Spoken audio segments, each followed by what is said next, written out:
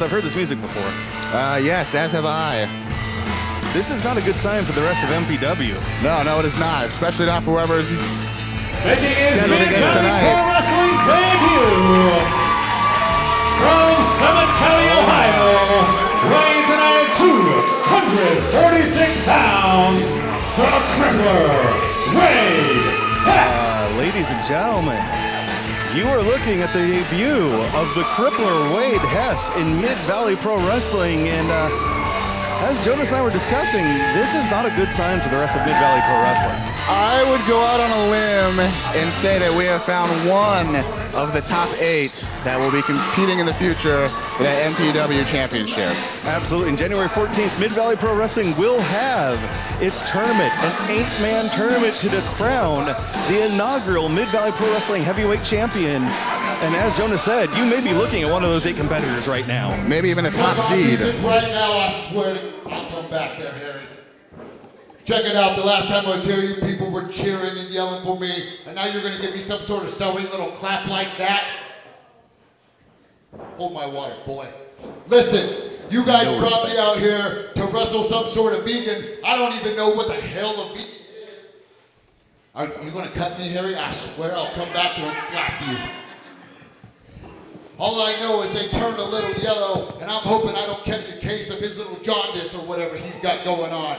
The only reason Wade Hess came here tonight because he heard that this was a fundraiser for Cascade Volleyball. Is that right? Oh, as much as he may be a, a tough And dude, believe me, Daddy, Wade Hess is all about teenage girls and knee pads. You know what I'm saying? Then again, I could be wrong. I'll cheers to that. So why don't you take this from me and you call this vegan out here and you let Wade Hess whoop his butt like he deserves. And his opponent,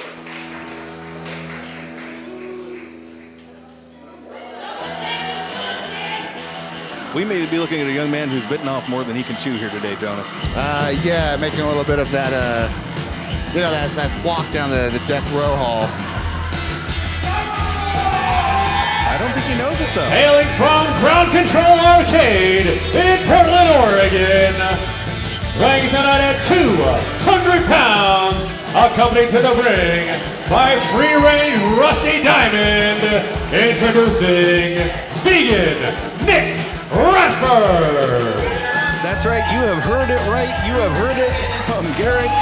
We have the vegan Nick Brad- Nick Radford here, getting in the ring with the crippler.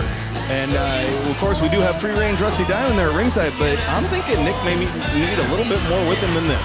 Uh, yeah, he might need about like five more vegans from the co-op come down here and help out. He may even want to try to contact some eco-terrorists to set something up. This is not going to be a good thing for him. This is a big challenge. Wade Hess, truly one of the most decorated performers here in the Pacific Northwest.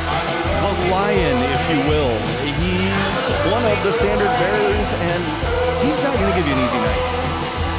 No, that's you're absolutely right. Wade Hess is one of the, the measuring sticks around here. And No, you, you talk about the generation that, that exists beyond what was. This is what is, is the man Wade Hess uh, and his compatriots have run roughshod over the Pacific Northwest, and now he's here in MPW, and Nick Radford in free range. Rusty Diamond um, and those Daisy Duke shorts have, have their work cut out for me. now I know, I know, you know, being vegan, I know some of what it means, but does it also mean skipping squat day? Because you know, I know Rusty Diamond doesn't eat chicken legs, but it certainly looks like he has some. you may be right there. I don't think we're going to find him at Buffalo Wild Wings anytime soon. But as you mentioned, down at one of the food carts, one one of the co-ops, you're going to find him there. non right there on that uh, stiff tofu. Oh yeah, if he if he likes things stiff, he he's across the ring from the right person. Uh, then that is very true. Wade Hess again, just one of the stalwarts here, one of the quintessential cornerstones of the Pacific Northwest these days, and, and he's here to stake his claim to Mid Valley Pro Wrestling. Man, look at that singlet on Nick Radford. I'm, that plaid is What? hypnotizing Nick- me. Referee Dick Champagne has found a uh, international object. What is that? A roll of quarters? I'm not entirely sure, but he, uh, Nick Radford has got it now. He's handing out for Rusty Diamond. It looks like it may very well be an inhaler. Maybe the crippler's having some issues with, with some asthma lately. Well, you know, the weather's turning colder. Sometimes that can affect people. It can, it can give it, give him a little bit of break. That's okay. Rusty's going to hold it just through the match so that everything's fair. And there you go, Wade Hess, making sure the referee can hear him. Well, you know, Dick Champagne, you know, the, the ovation he gets is so loud it might be wreaking havoc on his eardrums. Well, it really may. And though he's a young referee, he's a very popular referee with the crowd. And, you know, Wade just may want to remind him exactly who he is.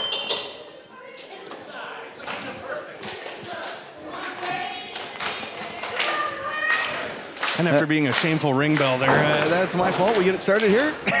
we got Wade Hess against Nick Radford locking up. Well, if Nick Radford was wondering how good he might be, tonight is surely going to be a test for him.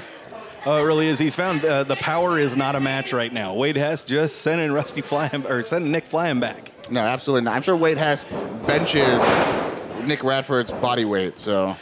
Quite possibly Nick and Rusty. There you go, Nick with the go behind.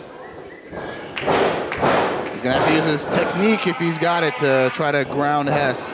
Uh, and, and Hess using his power and a little bit of technique to get out of that. But Nick ended up behind there. Chicken wing. There he goes back to the headlock. Just graining away there on Wade Hess. Takes him down with the headlock takeover. Absolutely. Nick looking confident. He's not getting overly confident, not getting cocky, just knows he needs to stay in the moment, control this to the next. That's it. One step at a time is the only way he's going to get past the crippler today. Hess fights his way back to his feet. Looks like he's trying to back Radford into the corner. No, but this is where that size is going to come in. We're going to get a clean break here. Of No, we course do not. No, not from the crippler. Takes him across the ring. Up goes Nick. You are back in the headlock. And down on the mat. Nice takeover once again. Nick getting position. Well, there's some of that technique I was talking about. You know, Radford is a student of the game, as they say. You know, he Definitely. Watches tape from all over as he's eating his little meatless vegan treats. Yeah, he's got the granola in the bowl. He's enjoying it. I'm sure he adds raisins for flavor. Oh, yeah, yeah. Off the ropes. Here we go. Nick building some momentum. He thought he was getting over. There he is. He ends up behind. Tilt this time. Oh, Crippler looked at him right before Nick took him backwards. That's- Again, proving that student of the game. Yeah, I would say that's a unique counter there. I've never seen a tilt-a-whirl into a Russian leg sweep before. There you go. Uh, Nick showing that he is putting his time in tape. He may not have size. He's working on technique. He knows that's where he's going to find his advantage each and every time in the ring against the bigger competitors here in the Pacific Northwest. And especially the monsters in MPW. That's right. I don't know if I agree with him uh, giving Hess the breather on the outside. No, and Hess absolutely taking advantage of it, going all the way back into the snack bar, making sure he's clear headed before he comes back out. Oh, and the crowd is getting on Hess. Not going to take it. He's going to make sure he, he works that count. Well, you know, well, breaking the count, it- being on the outside of the ring, it's like uh, our version of a 20-second timeout, you know? Definitely, yeah, and it comes in handy. And here is Wade taking advantage of every possible opportunity. The youth of Dick Champagne, eh, you know, as much as he had time in the ring, he still ends up getting uh, taken advantage of by some of the, these wrestlers. I don't believe that's a dip that was put into, into the pocket of Dick Champagne by Wade Hess. Yeah, I'm not gonna lie, that was gross, but it's safety measures. You know, you don't want to get hit and accidentally swallow it, and you start gagging and choking. Definitely not. And kudos to Dick Champagne for being a professional, letting it happen, and, and just working through it, continuing to call the action. And kudos to Rusty Diamond for working this headlock. Nick Radford, but I agree with you. There I go, being a name meister today. Uh, I keep looking, I, I'm disturbed by Rusty, and I can't help it. He's on the mind. But Nick goes up, comes over, tries again. This Go time ahead. it's not successful. Oh, Oh, you could see that coming. Wade Hess bringing that big lariat over the top. turns him inside out with that clothesline. Absolutely. Nick Radford, of course, suffering the effects here. And Wade Hess is going over the short knee. Right on the ropes. Look at him, the way he uses that size as his advantage. Now, that's something you've learned over the years is just to let them carry you.